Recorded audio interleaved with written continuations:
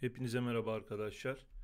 Bildiğiniz gibi evde bakım maaşı kişi başına düşen gelir videosu yapıyoruz. Bunu ben detaylandırarak anlatıyorum. Normalde bütün videolarımda bu var. 8 dakika olduğu için çoğu kişi izlemiyor.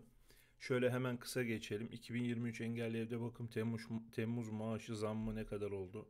2023 engelli evde bakım maaşı ne kadar? Kısaca hemen geçiyorum. Siz durdurup izlersiniz arkadaşlar. Kişi başı ne kadar gelir, nasıl hesaplanır onu size göstereceğim. İlk önce demek istediğim şey şu asgari ücretin 3'te 2'si kadar. Yani asgari ücreti 3'e bölüyorsunuz. Böldüğünüz rakamı 2 ile çarpıyorsunuz.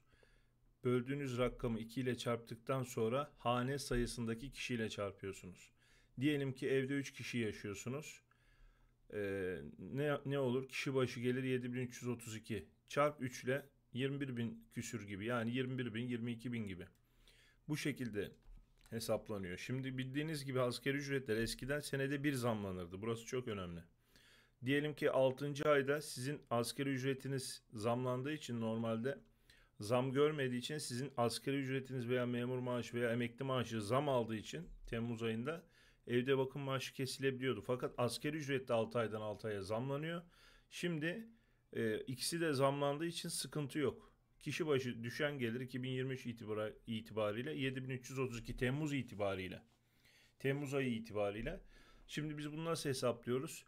Aylık enflasyona göre hesaplıyoruz. İşte TÜİK'in verilerine göre hesaplıyoruz. Şu anda kişi başı gelir bizim hesaplarım, hesaplamalarımıza göre 7332 lira. Hanede diyelim 2 kişi yaşıyorsunuz. 7332 çarpı 2 yapacaksınız. Asgari ücreti 3'e bölüyoruz. 3'e böldüğümüz rakamı 2 ile çarpıyoruz. O rakamı da hane başında kaç tane kişi varsa hane başı kaç kişi varsa onunla çarpıyoruz. Çok kolay aslında. Asgari ücret açıklandıktan sonra brüt, net, brüt değil de net 2 3'e bölüyoruz. Onu 2'ye çarpıyoruz. O 2'ye çarptığımız rakam kişi başı gelir oluyor. Yani 7332 lira. Kaç kişi yaşıyorsun? Bir kişi. Ne kadar maaş alıyorsun? 10 bin lira. Zaten bir kişi yaşadığın zaman evde bakım maaşı alamazsın. En az iki kişi olması lazım. Hastayı da sayıyoruz. Burada bunu unutmayın. 2 ile çarptığınız zaman 7 bin e, şey 7200 desen 15 bin desen hani 15 bin düz desen e, asgari ücrette 11.500 olduğunu varsayarsan gene alıyorsun. Ama yeni yönetmeliğe göre işte bankada param varsa onlar da katılıyor.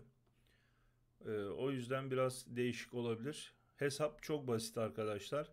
Askeri ücret bölü 3 çıkan rakam çarpı 2 çıkan rakam hane başında kaç kişi varsa onunla.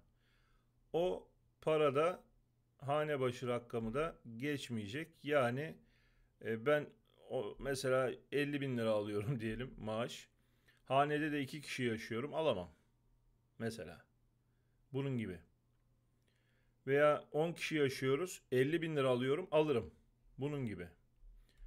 Veya 10 kişi yaşıyoruz fakat şeyde de maaşımız paramız var bankada. Ek gelirimiz var.